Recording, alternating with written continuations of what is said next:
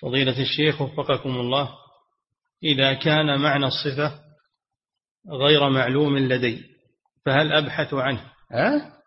إذا كان معنى صفة صفة معينة غير معلوم لدي فهل أبحث عنه في معاجم اللغة وقواميسها؟ لا ما في بس. اللغة نزل بها القرآن هي تفسر القرآن. إذا أشكل عليك شيء ترجع إلى تفسير الرسول صلى الله عليه وسلم أول شيء. ثم بعده ترجع إذا أشكل عليك شيء من معاني القرآن ترجع إلى الآيات الأخرى التي تفسرها لأن القرآن يفسر بعضه بعضا. فإذا لم تجد في القرآن تذهب إلى سنة الرسول حديث الرسول فإن الرسول يفسر القرآن. فإذا لم تجد في الأحاديث ارجع إلى قول الصحابة.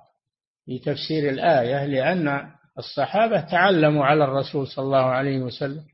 فإذا لم تجد في كلام الصحابة فارجع إلى كلام التابعين لأن التابعين آه، أخذوا عن الصحابة. فإذا لم تجد ترجع إلى معنى اللغة التي نزل بها القرآن. هذه وجوه التفسير. نعم.